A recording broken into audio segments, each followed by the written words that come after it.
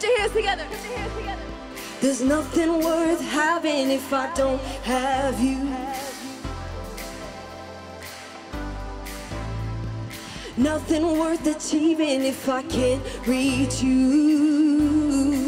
Hey. The only thing I needed, you've already given me. I am yours and you are mine. Come on. My desire is to know delight in hearing your voice. All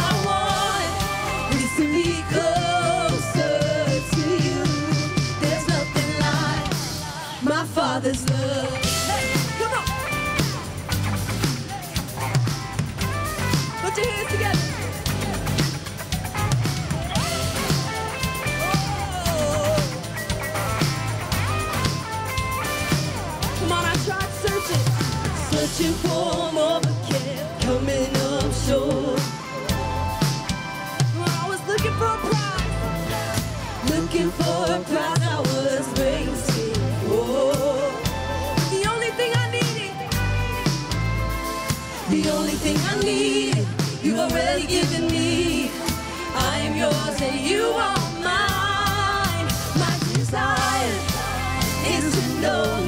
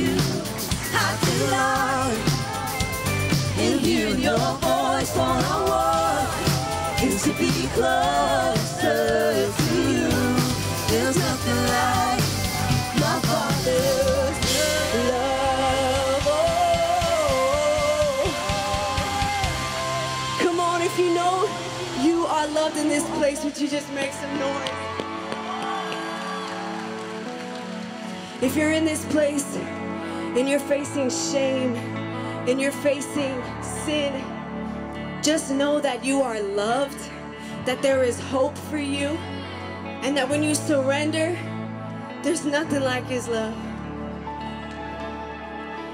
We're gonna sing. Lord, here I am. You know the real me. I cannot hide my weakness. I don't understand how you could love me. I don't deserve your kindness. Right when I feel like I've run out of chances, you're there to meet me again.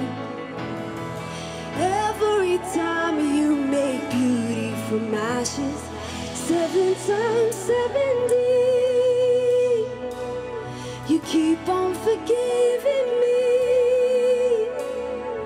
Seven times seventy. Over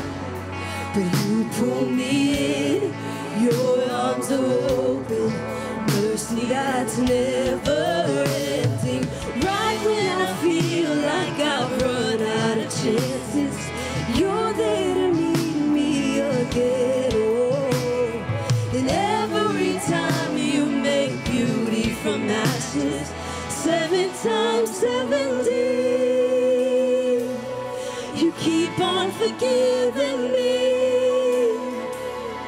Seven times 70.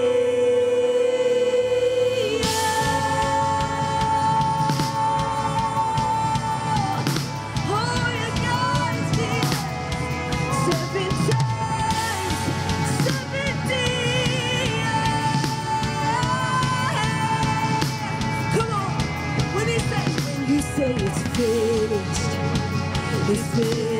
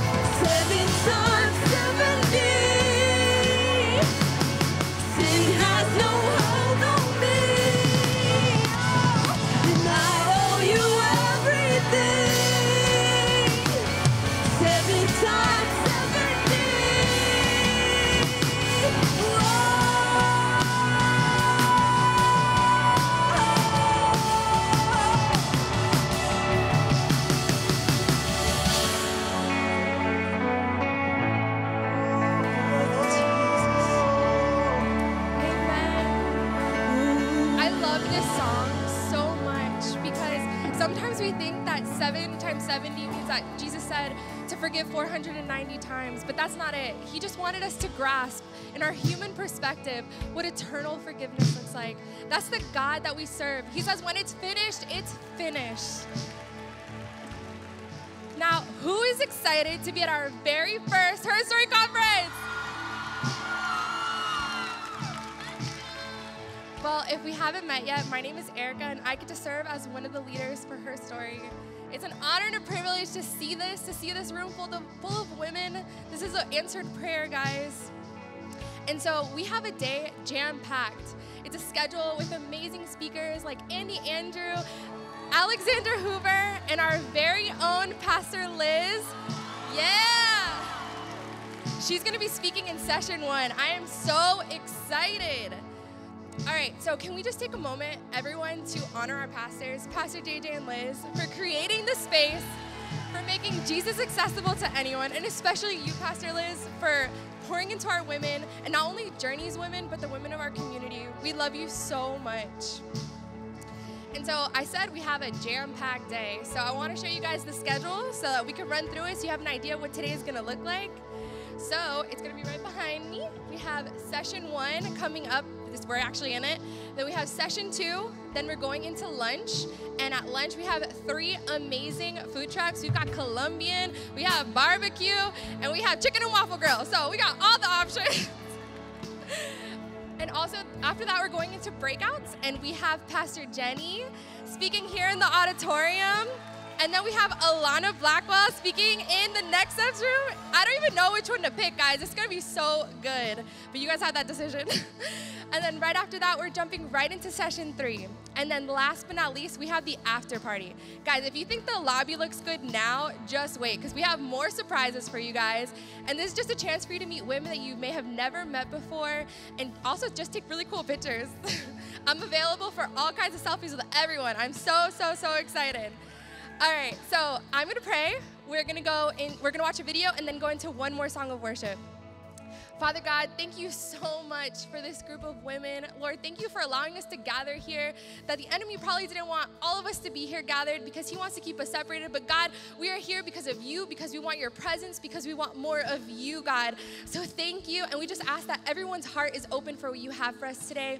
In Jesus' name we pray. Amen.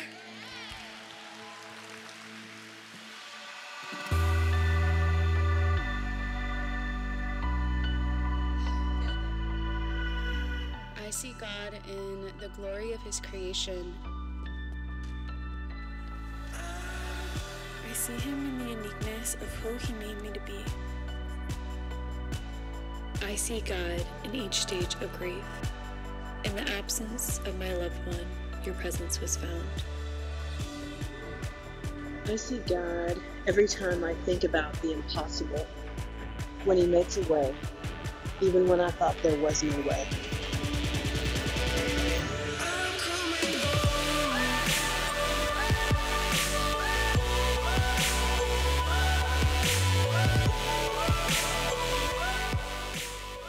I see God in nature, in the strength of the mountains and the fierceness of the sunset. I feel Him when I breathe in and feel my lungs fill with air, and I know that I'm alive and He's not done.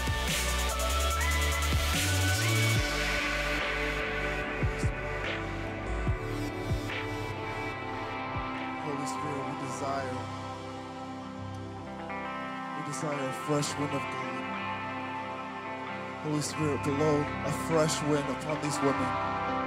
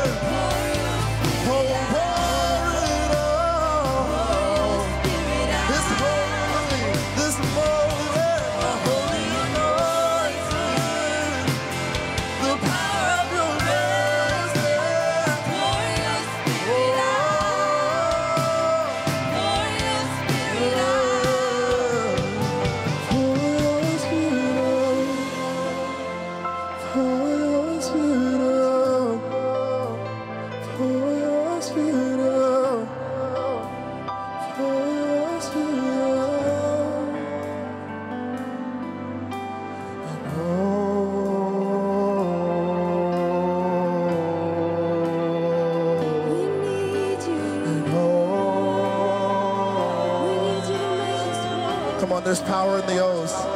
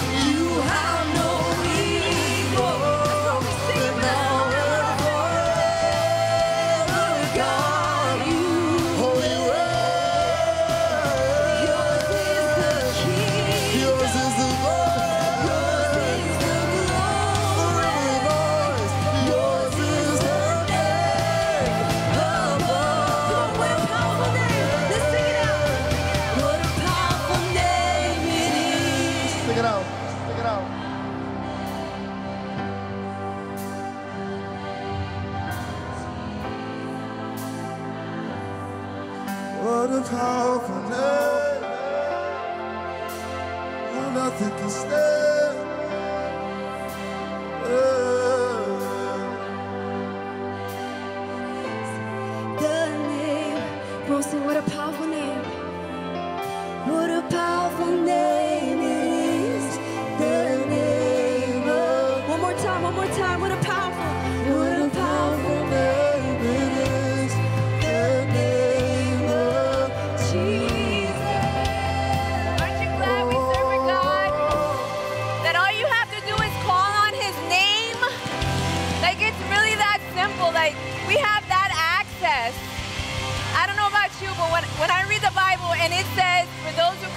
the name of the Lord will be saved, that's not just the day that we get saved. For me, it's every day. When I wake up and I feel anxiety, fear, worry, and doubt, I just call on his name. Just say his name right now Jesus. Jesus. Jesus. Jesus. The name above every name, Jesus. Lord, we thank you for this morning. We thank you that your presence is here. We thank you that all we have to do is call on your name and you show up. Like you give us that access, Lord. Thank you for dying on the cross for our sins and just being there for us through it all, God. We thank you. In your name we pray. Amen. Amen. Well, what is up, Her Story Conference? Wow. I'm so excited you guys are here. You guys can go ahead and take your seat. If I haven't had the pleasure of meeting you, my name is Liz.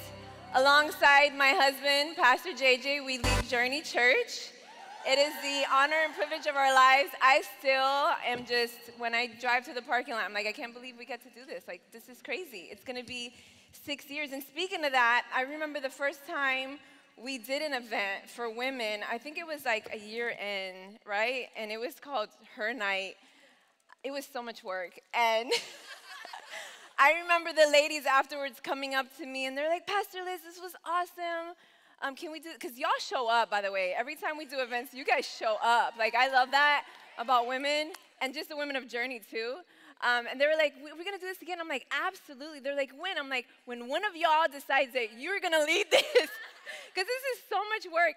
And so I just want to take a moment and honor these two ladies, Erica and Kim. Can you please stand up real quick?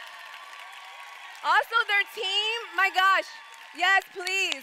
Just so you know, you guys paid to be here, but they don't get paid to do this. Like, you, it's a lot of work. They don't get paid to do this. So please, if you get the hookup somewhere, like you work at Disney, get some tickets, like do something to bless them. And then the team, I mean, I heard some ladies that were here from like 6:30 in the morning. Six in the morning, like I was waking up at that time, and you guys were here, so just want to honor and take a moment to honor you for that. All right, so I'm gonna go straight into it because I know, oh man, they already started the timer, so I gotta hurry it up.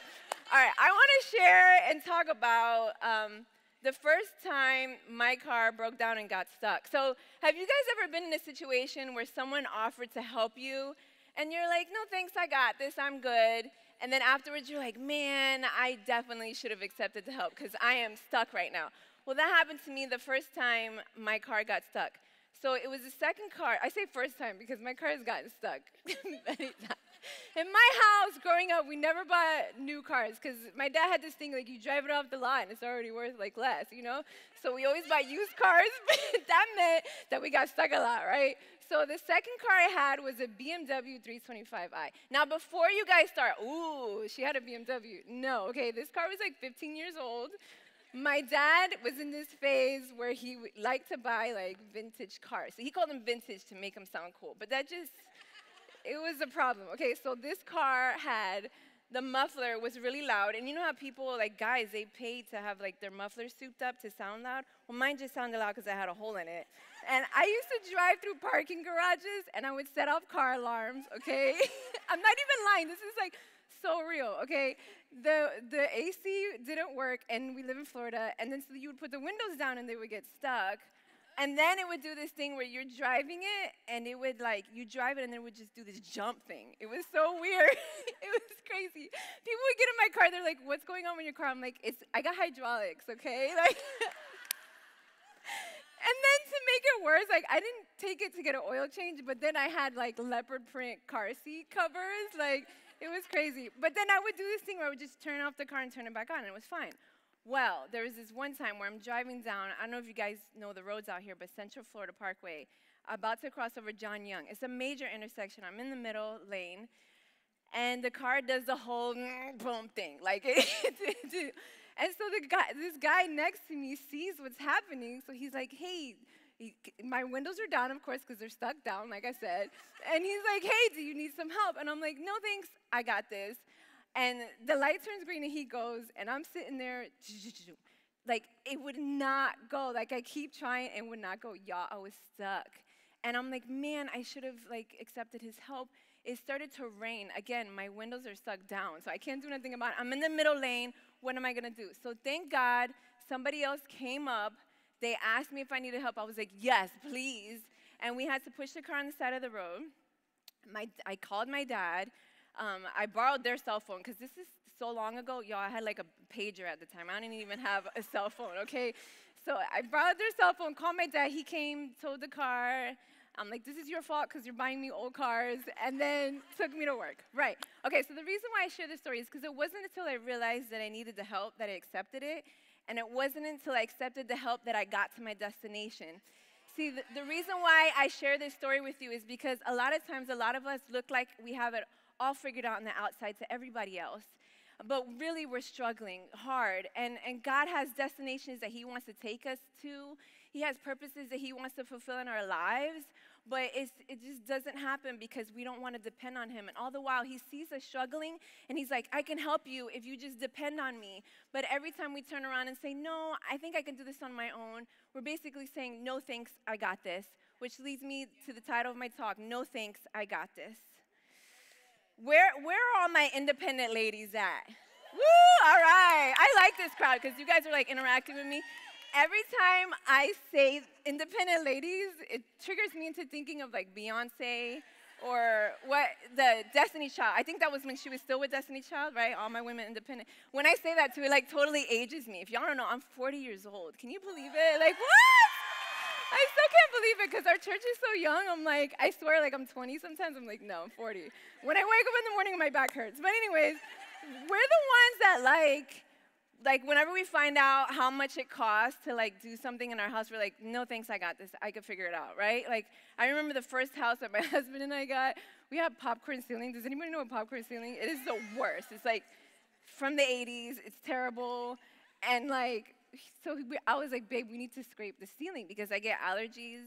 Also, it's ugly. But also, I'm sorry if you have popcorn ceiling, by the way. But I get allergies, and when you try to have you ever tried to vacuum popcorn ceiling? It just looks like it, it looks like a bunch of uh, spiders had eggs, like laid eggs all over the ground. So my husband tried to scrape it. Y'all, he got to like the living room, that, and then that was it. Like he was in, he's like, I can't do this, right? But like that's what we do, right? Like whenever we ask our kids to help us with the dishes, and then we see that they're not doing it right, we're like, no thanks, I got this. Let me just do it, right? Or like there's a project at work, and you need help, and you know you should delegate, but you don't, right? Because you're like, no thanks, I got this, because you're afraid that they're not to do it right. And, and why do we do that? Like why don't we want to depend on other people? Because we feel like they're not to do it right then that also means that we're to have to give up control, right?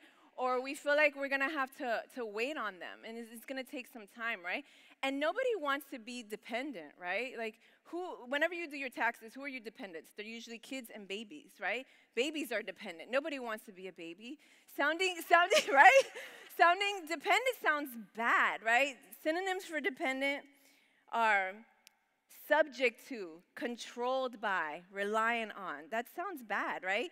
Independent sounds better. It sounds strong. Synonyms are self made, self sufficient, self supporting.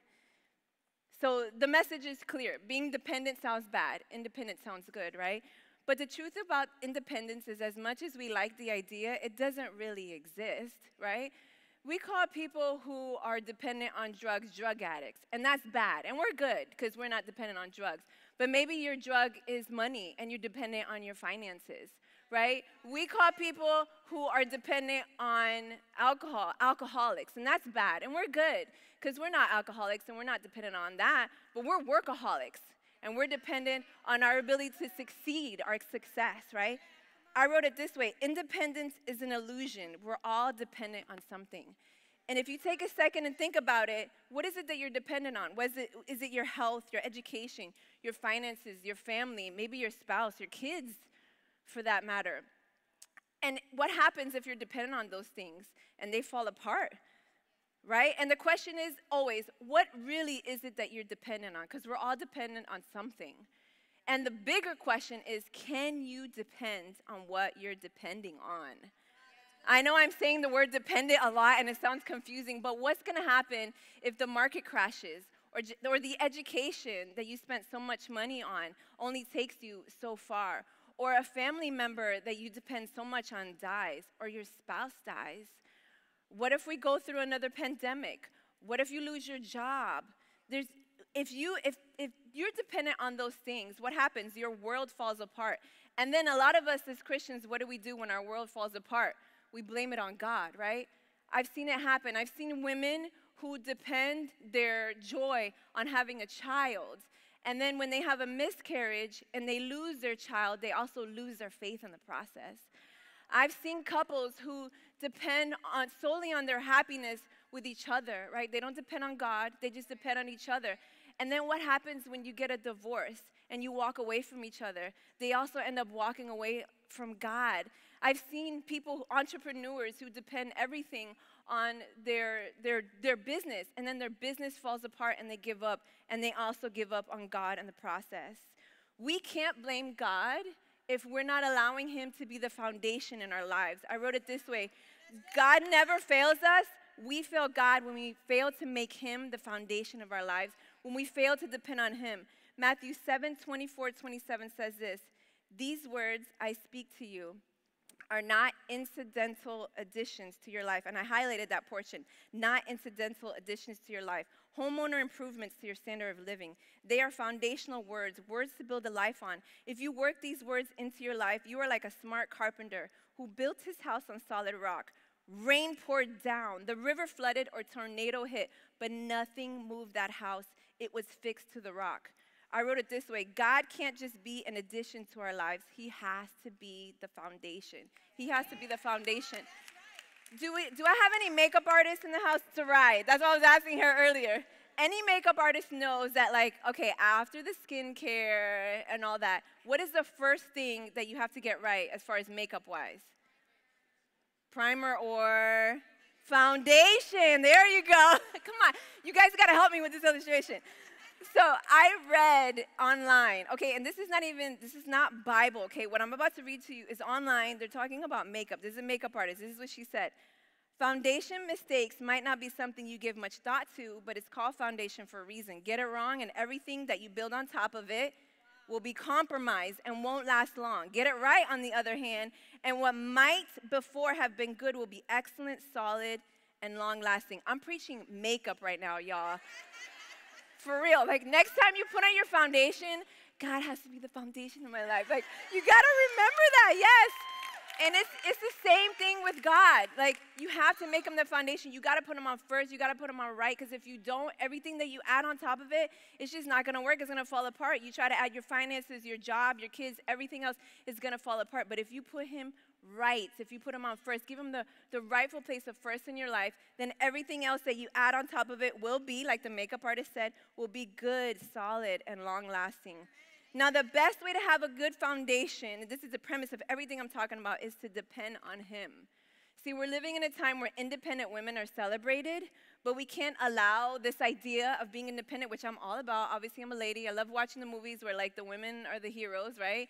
Like I think is it Super no Wonder Woman. That's like my favorite. My husband loves Marvel movies, and I'm like Wonder Woman is where it's at. Okay, and I'm all about that. But I wrote it this way: in an effort to fight for and become independent women, we can't become independent of God in the process. We need to make sure that God is our foundation. Yes, and we are dependent on Him. So I have 26 minutes. All right. We, I'm gonna, I'm gonna give you a Bible verse, and I'm gonna talk about two trees everything I'm going to talk about is from two trees in the Bible one that depends on God and one that doesn't. And this is found in Jeremiah 17, 5 through 10. If you don't have your Bible, you could read it on the screen behind me. Again, two trees, one that depends on God and one that doesn't. It says, This is what the Lord says Cursed are those who put their trust in mere humans, who rely on human strength, on yourself, and turn their hearts away from the Lord. They are like stunted shrubs. Some versions of the Bible say tumbleweed in the desert, with no hope for the future. They live in the barren wilderness in an uninhabited, salty land. I think you guys have the picture. I have a picture of, there you go. So this is what it looks like. I, I, I mean, it's super dramatic, but like I said, some versions say tumbleweed. Um, if you look at this, it's super dry, right? If a wind comes by and pushes on this, what's going to happen? It's just going to blow in the wind. It looks dead. It looks dry. This shrub has a no thanks, I got this attitude, right?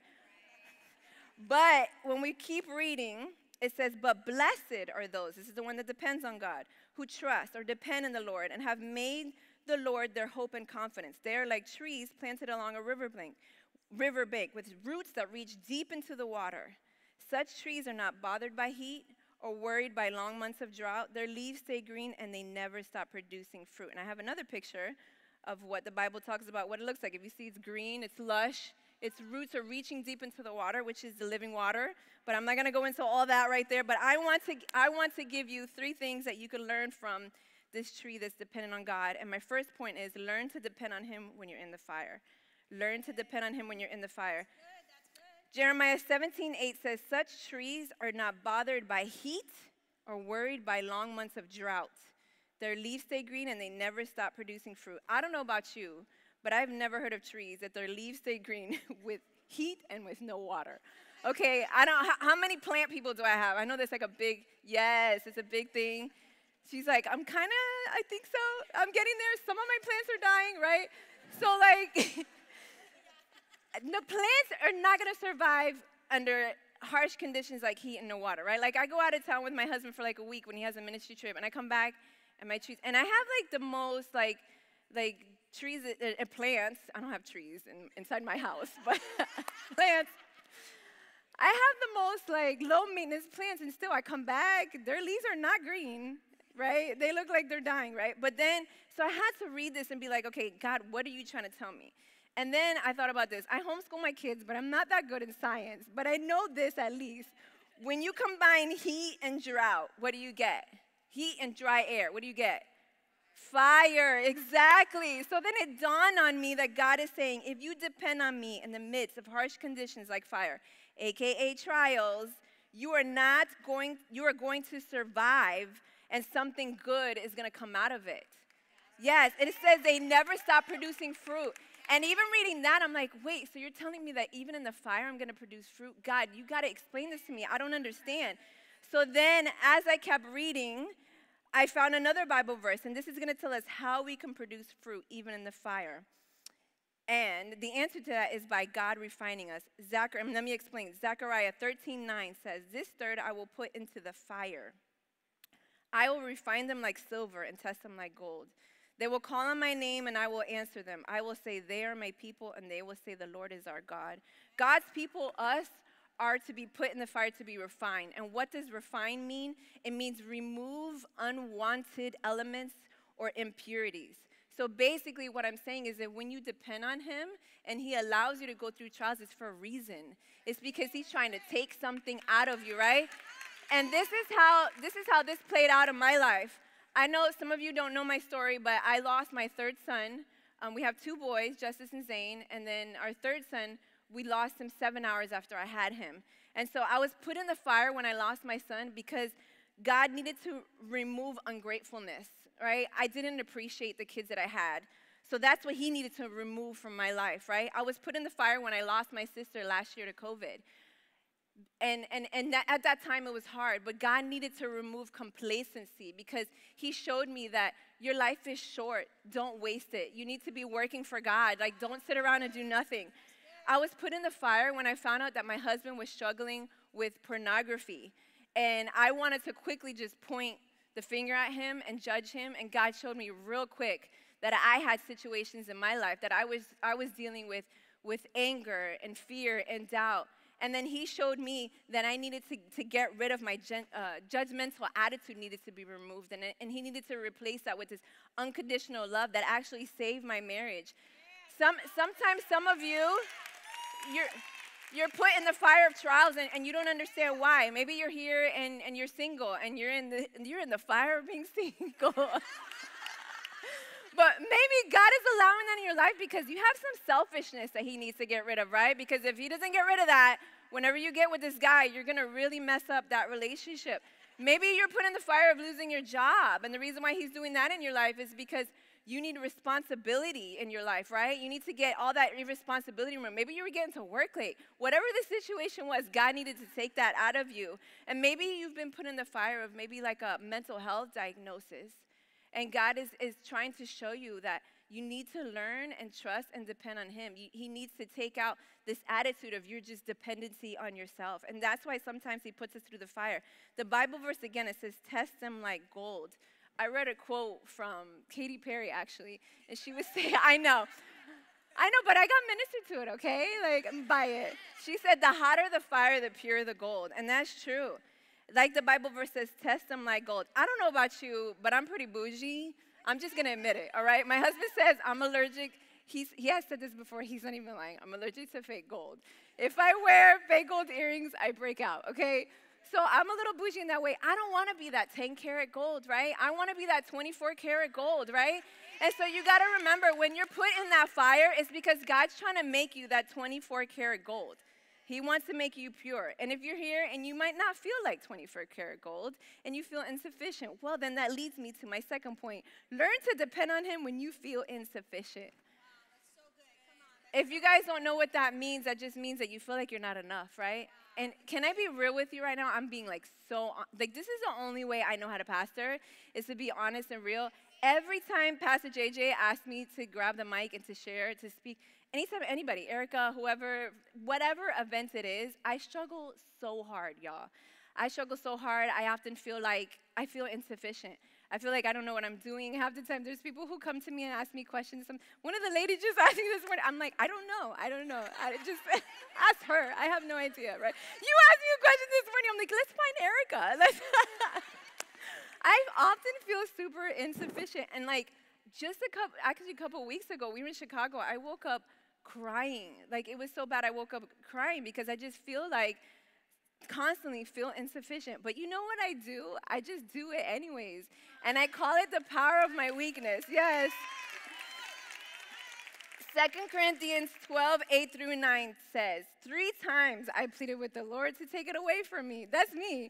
Three times, God, please just take it this insufficiency away from me. But he said to me, My grace is sufficient for you. My power is made perfect in weakness.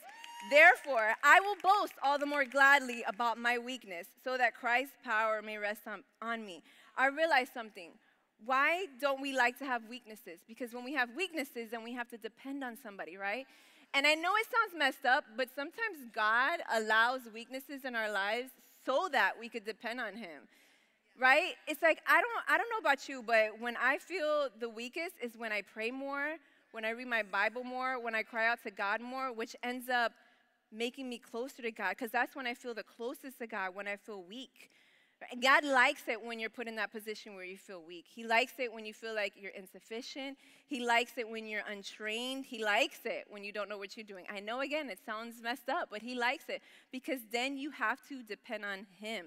And if any of these words describe you, that's a really good place to be because it says in the Bible that's when His power will rest upon you. You depend on Him, that's when His power is going to come upon you. I wrote it this way Our insufficiency plus God's power equals the opportunity for miracles. The Bible says that if you have faith like a mustard seed, he can move mountains. So that means that he moves mountains with mustard seeds, right? That insufficient, small, insignificant mustard seed, right? And, and Mary, think about Mary, a teenage girl from the hood, okay? I looked it up. She is from the hood.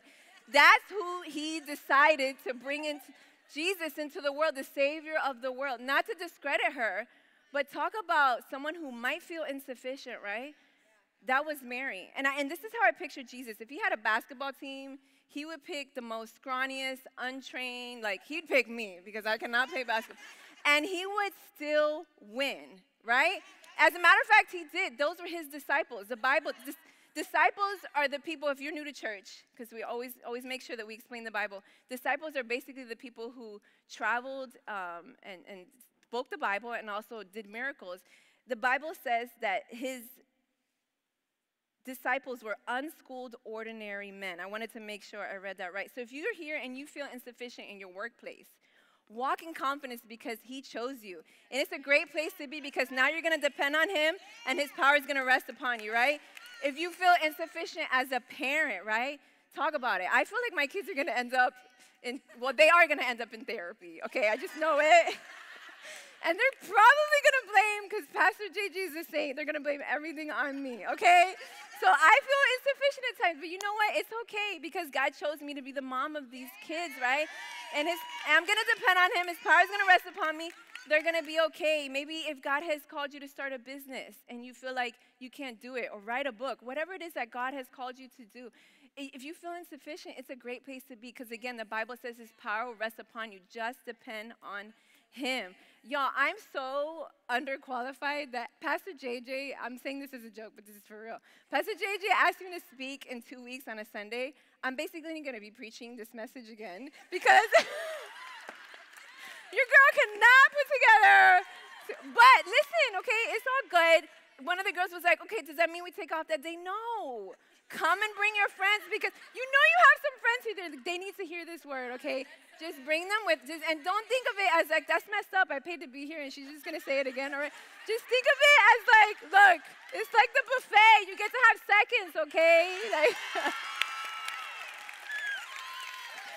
Oh my gosh, you guys are hilarious. Now, and if you're thinking to yourself, but I'm worried that I'm not to get something out of it, you will. And even if you're worried, learn to depend on Him when you're worried.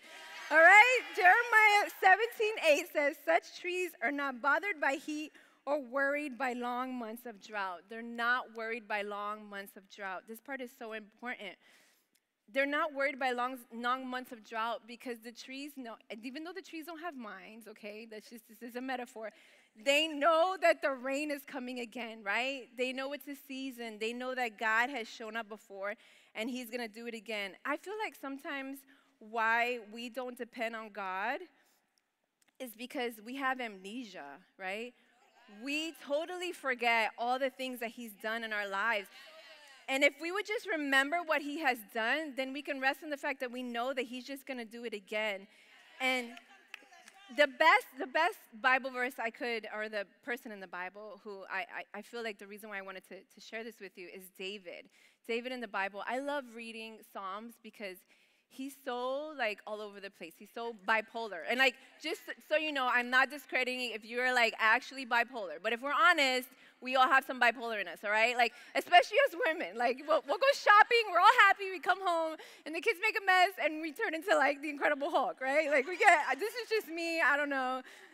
Okay, well, this is what David does. Psalms 77, 7 through 12 says, Will the Lord walk off and leave us for good? Like, how dramatic, okay? Will he never smile again? Is his love worn threadbare? I had to look up this word. I'm like, what does that even mean? And it's like, means thin, okay? Has his love worn thin? Has his salvation promise burnt out? And this is him just complaining, right? Saying, like, God, you have you have forsaken me. God has God forgotten his mannered manners? Has he angrily stomped off and left us? Just my luck, I said. The high God retires just the moment I need him. But then this is where he switches gears, okay? He goes from being upset and despair to realizing that he can depend on God. He says, Once again, I'll go over what God has done, lay out on the tables the ancient wonders. I'll ponder all the things you've accomplished and give a long, loving look at your acts. See, it wasn't until he remembered what God had done before in his life that he realized that he no longer had to worry what he was going to do his present situation.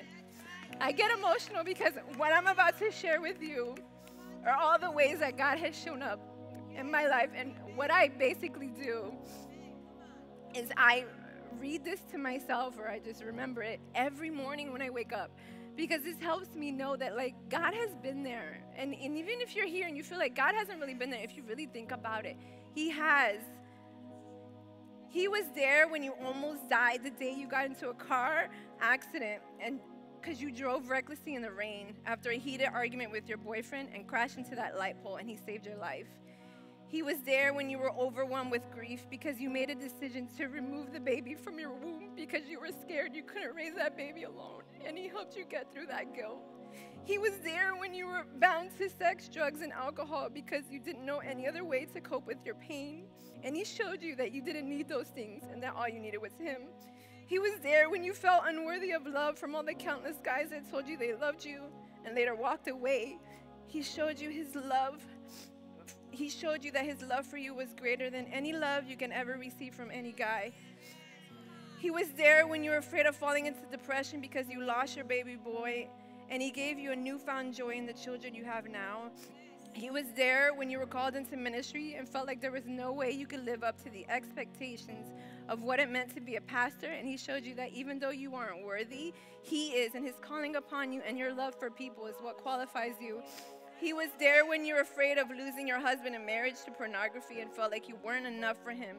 And He showed you that unconditional love and grace is what would heal your marriage. He was there when you felt like the weight of ministry was going to be too hard and you were going to break and you weren't going to make it, and He gave you strength. And He's there now while you cry over the fact that your brother isn't serving God and you're afraid that you will not see Him in heaven one day. I wrote it like this when we remember what He has done, we could rest on what He will do. The theme of this conference is She Sees God.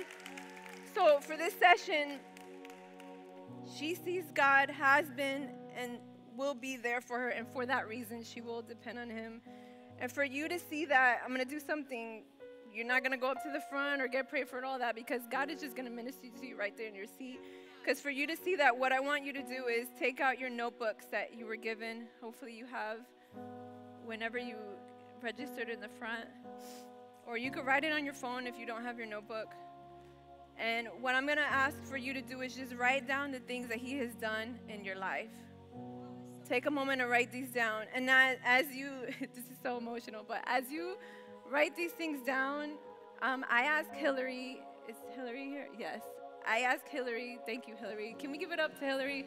If y'all don't know who this is, she's super special to us. She started the church with us. We started almost six years ago. Now she's like a famous worship leader in like Texas. So she came to be here with us, but as you're writing these things down, she's going to sing one of my favorite worship songs.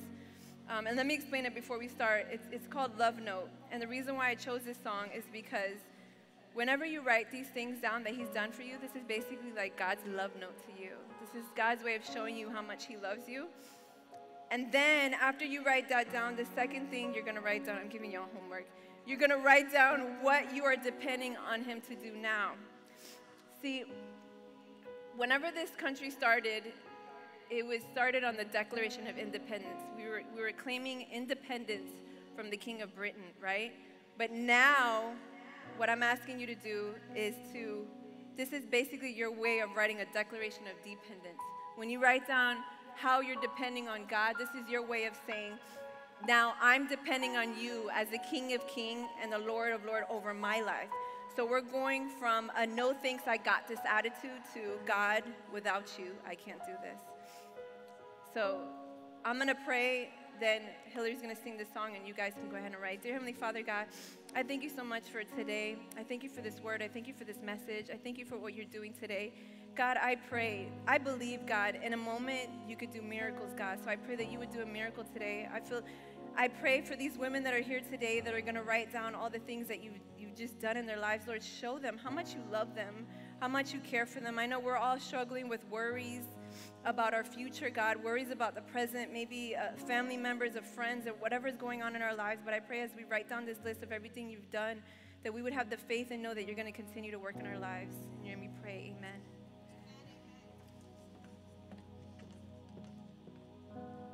Send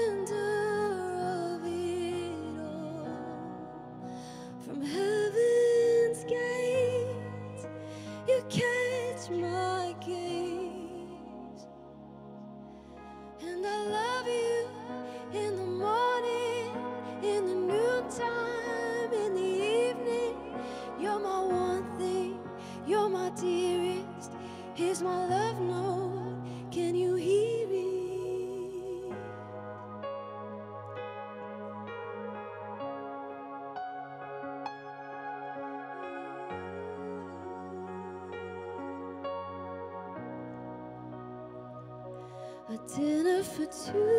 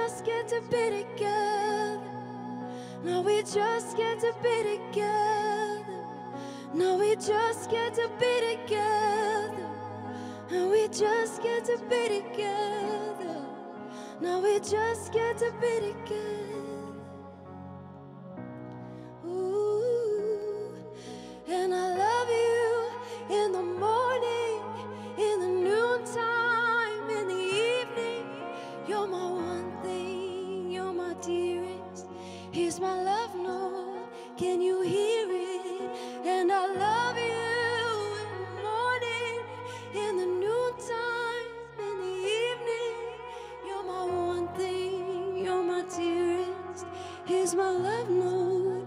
Can you hear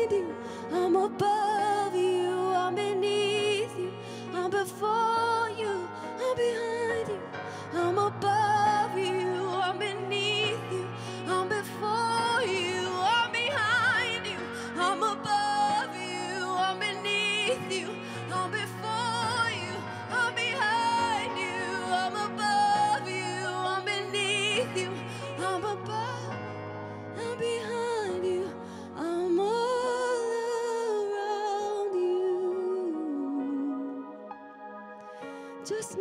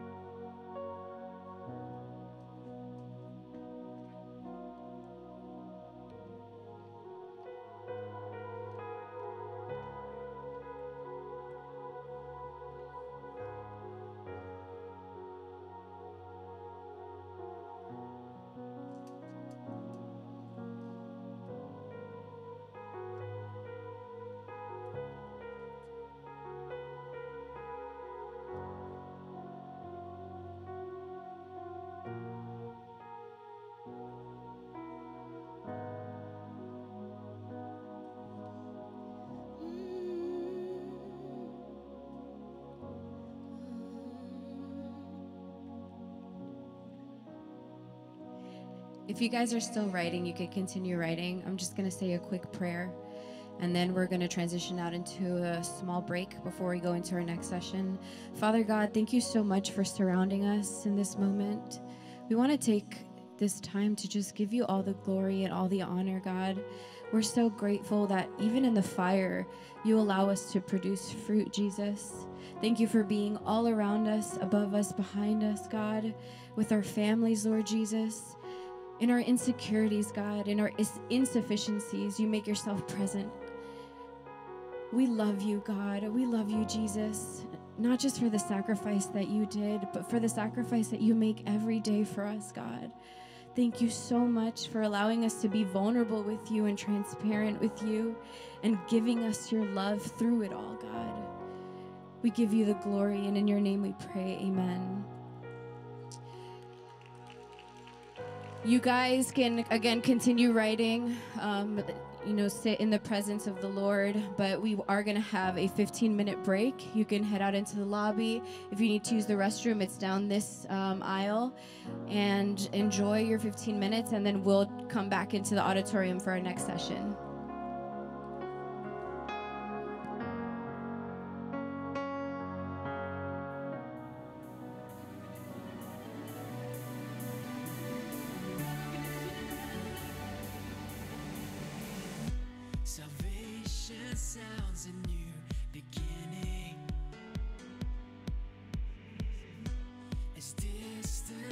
Hearts begin.